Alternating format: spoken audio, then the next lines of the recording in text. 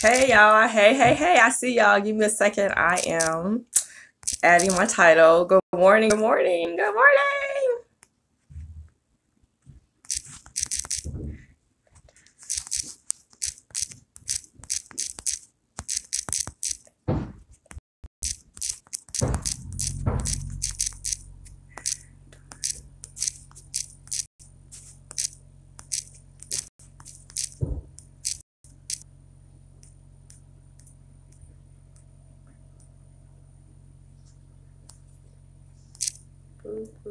Be patient with me. I'm adding the title. Okay. Let's see. Hmm.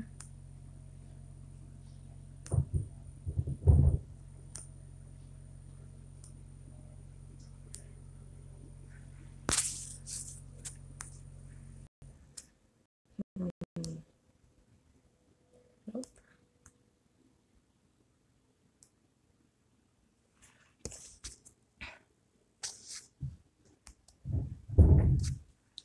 Trying to pin my thing. Let's see. It's not letting me do it. We're gonna get this together.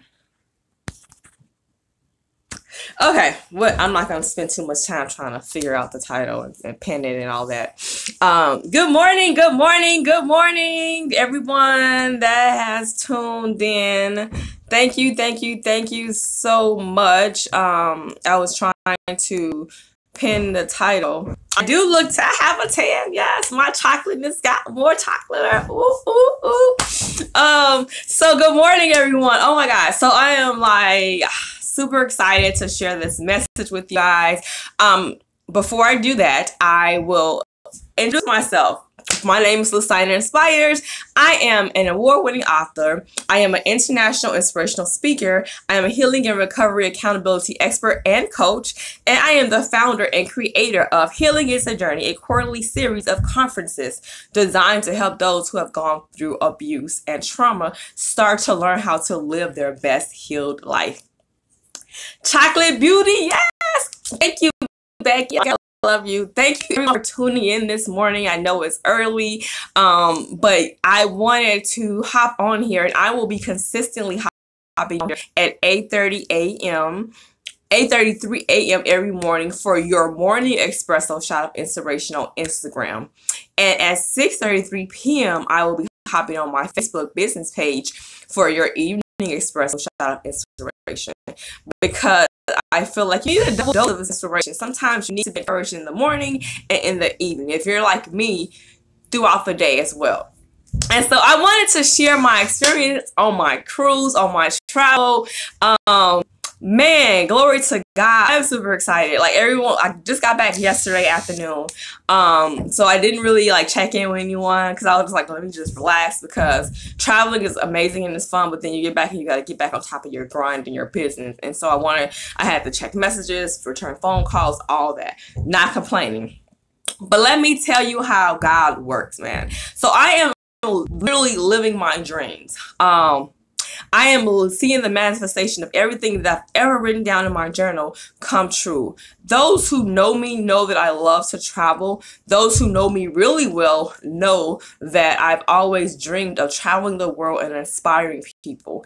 I didn't know what that looked like at the time, but I knew that it was something I wanted to do.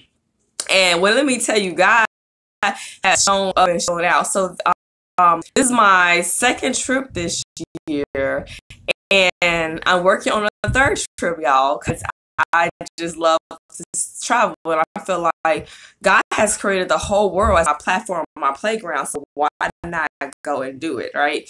And so this opportunity was presented to me uh, my dear friend Widow a business partner. Um, it was actually her event that she put together. It was a survivorship cruise for those who have survived domestic violence celebrate um, surviving and now thriving. And so I was honored to be able to be a speaker um, in her empowerment session.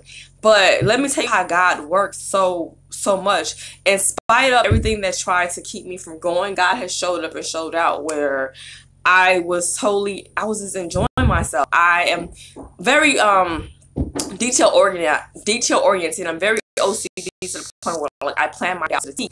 And this trip was definitely um, it was planned, but the experience I had, um, if you look at what I wrote in my comment, experiencing living my dreams, determined, disconnected, and doing me, right?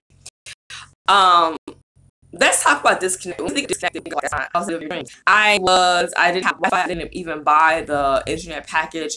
I was just disconnected from the world, but connected to God, connected to my experience. And when I mean disconnected from the world, like I didn't, I wasn't checking my social media page.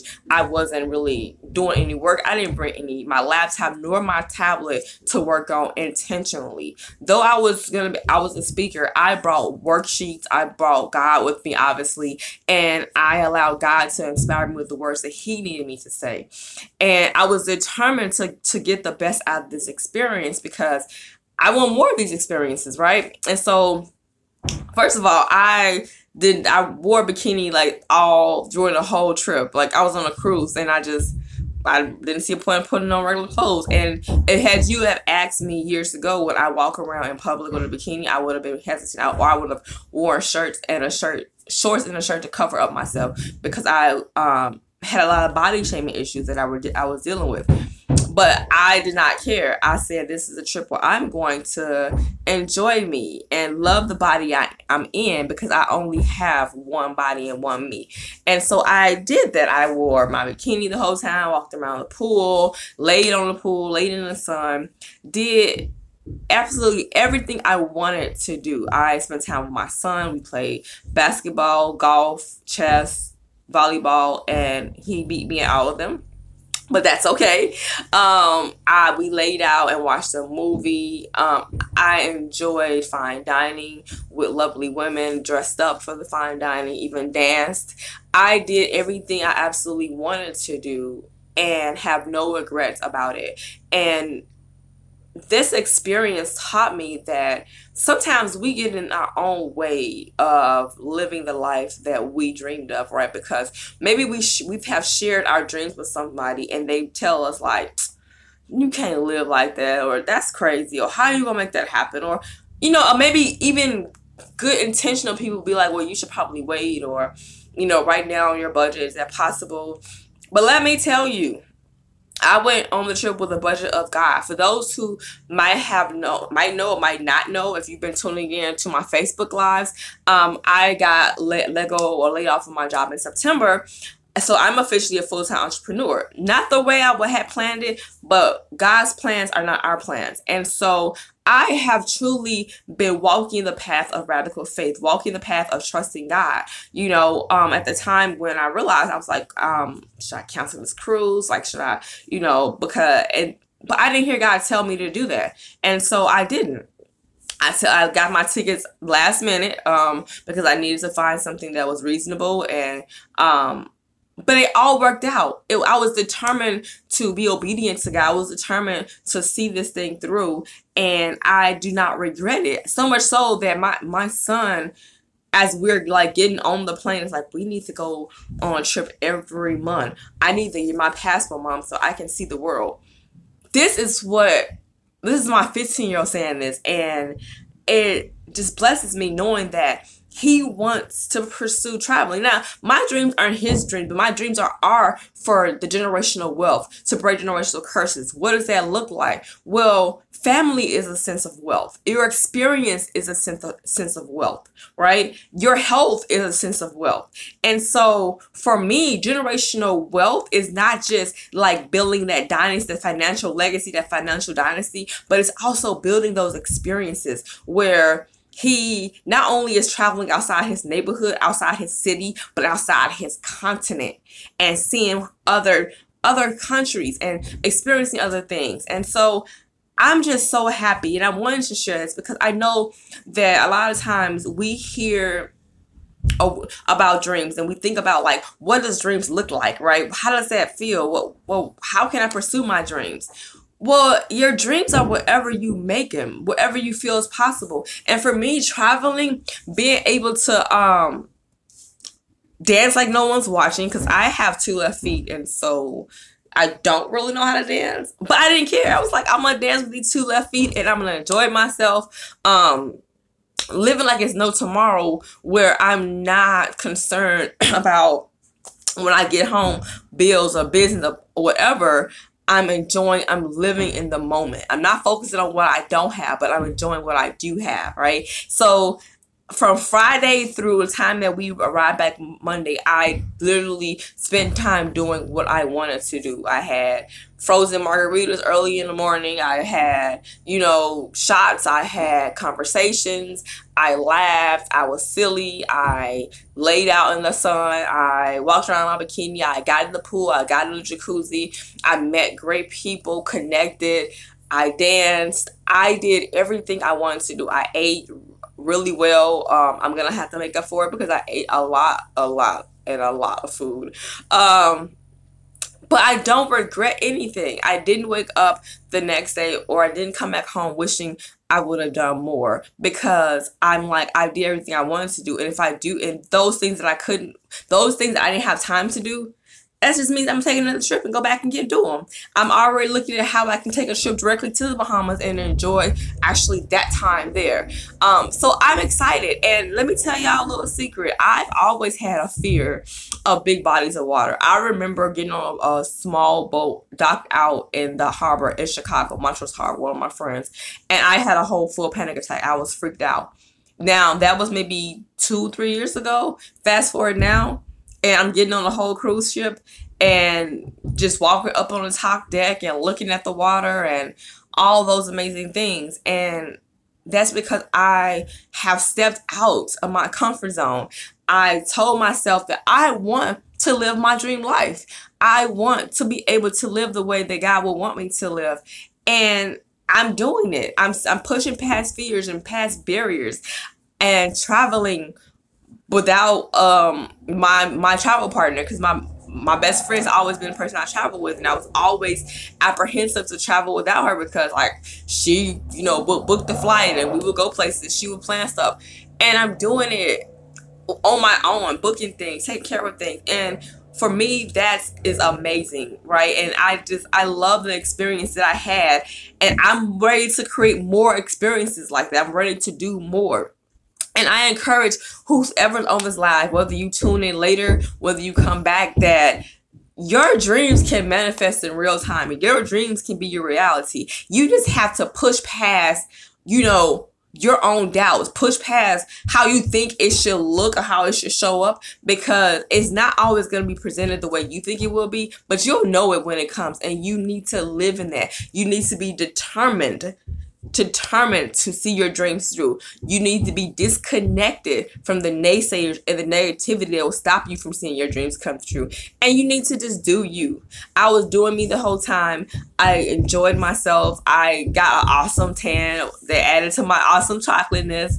Um, and I'm just so excited and happy. And so that leads me to my segue, right? Um, my next conference is December 28th, and it's talk. The very title, the very subject is dreams and goals.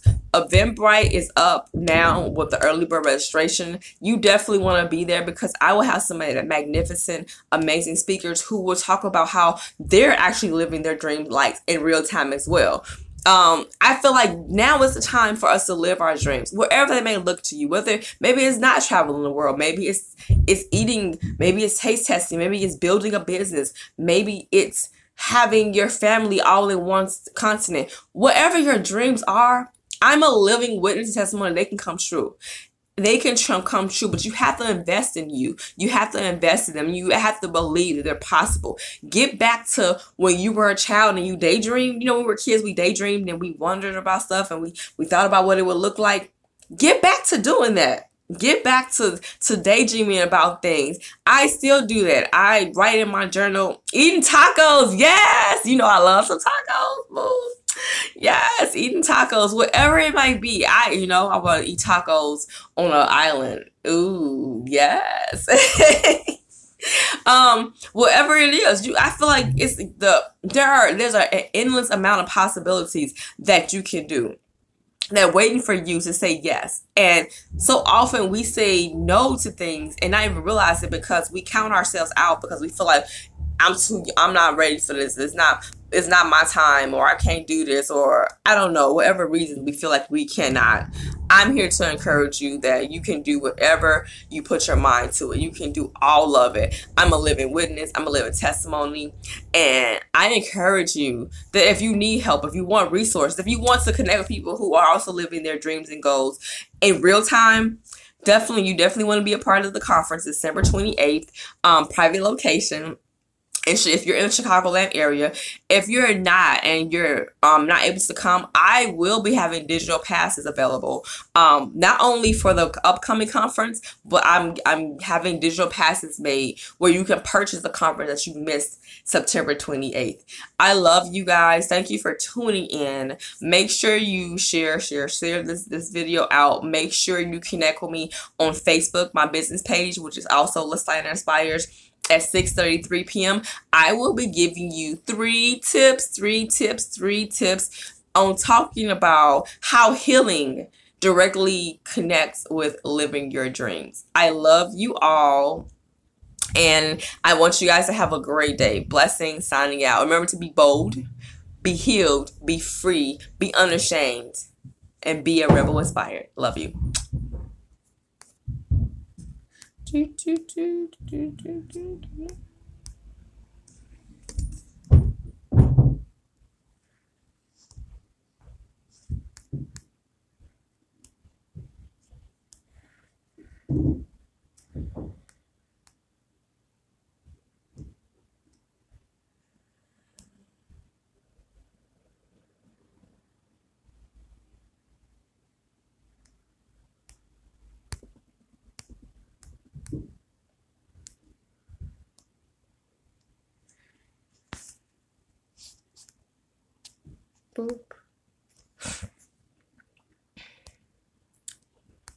Okay, I'm still trying to figure out how to pin this.